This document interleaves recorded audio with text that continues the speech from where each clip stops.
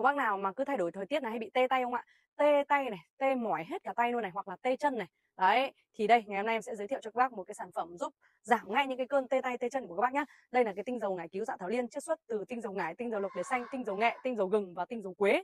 Có công dụng đó là massage lên vùng nào thì sẽ giảm đau ngay lập tức ở vùng đó. Và đây ví dụ như cái tay này của em đang bị tê nhé các bác nhé chỉ cần cho một giọt tinh dầu ra thôi. Vì tinh dầu này rất là đậm đặc nên mỗi lần chỉ cần dùng một giọt thôi các bác nhé đó các bác massage đều vào vùng tay mà các bác đang bị tê nhá. Những cái vùng tay đang bị tê này thứ nhất là nó đang bị co cứng cơ thứ hai là nó đang bị giãn hoặc thứ ba đó là nó đang tắc nghẽn mạch máu và cái thứ tư đó là nó đang có cái tình trạng đó là thoái hóa dần. Vì vậy nên các bác phải xử lý ngay. Các bác massage đều tinh dầu tầm 2 3 phút đồng hồ. Đấy, lên tay để cho nó làm ấm nóng và tinh dầu sẽ thẩm thấu 3 mm vào trong biểu bì da của chúng ta. Sau đó các bác nhá sau khi mà chúng ta massage bằng tay xong thì chúng ta lấy cái cây nan này, chúng ta massage lên cái vùng đấy này. Chúng ta massage lên như này thì sẽ giúp cho cả những cái huyệt vị ở trên tay nó cũng sẽ được tác động đến này. Đó, lực của massage của cây nan nó sẽ mạnh hơn và sẽ giúp cho chúng ta massage đều hơn nhé và sau khi massage xong thì chỉ 15 phút thôi nó sẽ giảm đau cho các bác. Và khi mà chúng ta mà bị tê tay như vậy thì chúng ta lên làm thêm một bước nữa, đó là nếu tê tay chân nhá, các bác lấy một chậu nước ấm nóng ra, các bác nhỏ tầm 2 giọt tinh dầu ngoại cứu vào, rồi các bác ngâm tay chân tầm độ 10 năm đến,